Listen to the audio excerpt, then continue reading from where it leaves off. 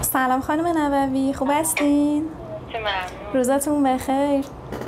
خبریم شما هست بله بله.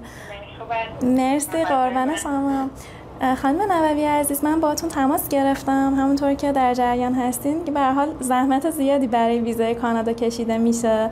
یه تعدادی از بچه ها مثبت میشه جواب ویزاشون و یه تعدادی هم متاسفانه منفی.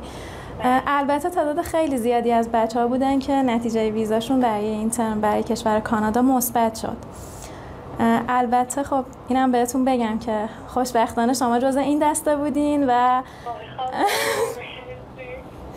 خواستم باهاتون تماس بگیرم که در جریان باشین. نتیجه ویزاتون برای کانادا اوکی شد و دیگه می‌تونیم برنامه ریزی ها رو بکنیم که انشالله سپتامبر کانادا باشیم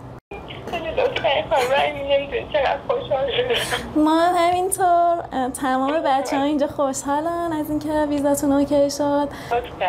الان چه حسی دارین؟ خیلی اصلا گریه می‌کنم تا صحبت کنم.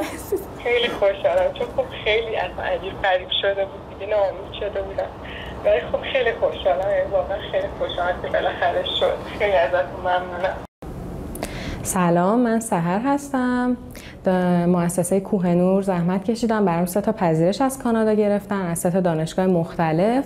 با توجه به رشته که خودم می‌خواستم و در نهایت بعد از سابقه یک reject ی با یکی از پذیرشام که به خاطر شرط کرونا بود که هممون در جریانیم. در کمال ناباوری اتفاق افتاد و پرونده خیلی خوب بود ولی مجدد note گرفتیم و ادامه دادیم با پذیرش دیگم که scholarship هم داشت. اقدام کردم و تونستم توی resubmit موفق باشم که ویزا رو دریافت بکنم. خیلی از مؤسسه تشکر می‌کنم. امیدوارم که همگی موفق باشین.